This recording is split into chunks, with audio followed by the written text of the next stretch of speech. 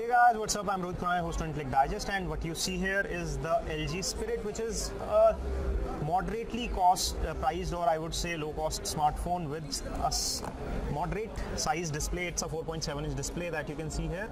It comes with very interesting specifications and features. To start with, it comes with a compact form factor, which is 4.7 inch only. It comes with dual SIM support. It comes with Android Lollipop, which is the latest operating system from Google, and you find some very interesting uh, specs as well as cameras as well. It comes with an 8 megapixel rear camera and a 1 megapixel front facing camera. So I can give you a quick quality test of the same. Uh, you can switch to the rear camera and front facing camera by using the on screen buttons and this is how the rear 8 megapixel camera performs. So in terms of camera quality, the LG phones are fairly sorted. It comes with expandable memory as well.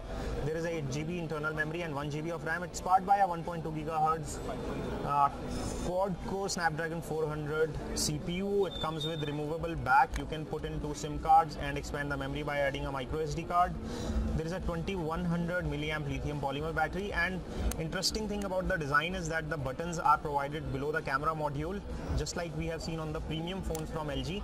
There is a volume rocker as well as power wake up key here. The rear camera comes with flash, speaker grill is down here and the phone looks and feels nice in hand, gives you a nice good uh, feature rich uh, experience. It comes with a high definition 4.7 inch IPS display.